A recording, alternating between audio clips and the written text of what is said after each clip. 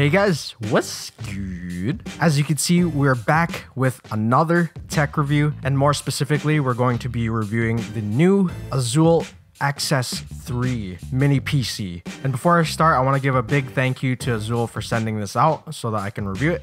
And yeah, let's get right into it. So first off, as you can see from the packaging, it's super clean, very appealing. I love the purple and the blue mixed with the white. I don't know. It just uh, it makes it stand out, but it's also subtle at the same time. The overall aesthetic is a five out of five for me. Aside from that, as you can see, it's easy to open. It slides right out. There's no real hassle for you to get the PC out of the package. And what's inside the box is the mini PC, an HDMI extender, and the power cable. So moving on to the tech specs for the Access 3, it runs Windows 10 Pro, it has a quad core Intel Gemini Lake N4100, 4 gigabytes of RAM, 32 gigabytes of storage, and it runs 4K resolution at 60 FPS. And not to mention it has two USB 3.0s. Another cool thing to note is that it's small enough to fit in the palm of your hand, so it makes it portable enough for you to plug it into any TV, display, or projector, making it easy for everyone to use. So overall, the installation was easy, setup was flawless, and it's pretty much, you know, like a plug and play thing, and you're set to go. But in terms of quality of the build, it's super durable, very compact, uh, it's fanless if you guys didn't know that, and it's a lot faster than the previous builds. And right now, I'm just going to be showing you guys some footage of me using the computer, showing you guys how seamless it is to use. And as you can see here, I'm playing Marvel Future Fight on the new BlueStacks 4. Uh, graphics are pretty good, to be honest. I'm playing on a 40 inch screen, so it's everything is like scaled up, but nonetheless, graphics are good. There's no lag.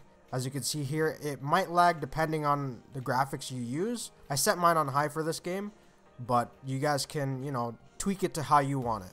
But for the most part, the Intel graphics definitely can handle games like these. And for sure, if I minimized BlueStacks and made a smaller window, it would definitely run super smooth. And on top of that, in-game, I'm moving a lot more just so that I can cause more stress on the FPS to see if it can still handle it, and it did. So on top of testing games, I wanted to check out how well it can handle YouTube videos. So I just pulled up one of our recent videos, which is the LEGO Marvel Superheroes 2, and as you can see, it's playing 1080p pretty seamlessly. But not only can it play 1080p, it can go up to 4K at 60 frames a second.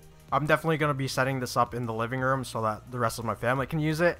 And if we have like cousins or, or other family members that want to stop by and use it and play some games with us or watch some movies, this definitely can handle that. This is definitely one of the more beastly computers, let alone mini PCs that I've ever had, and it's definitely a contender in the market. There's just so much packed into this little thing. And if you guys want to purchase one, definitely click the link down below. Uh, Azulle is an amazing company and be sure to send them some love.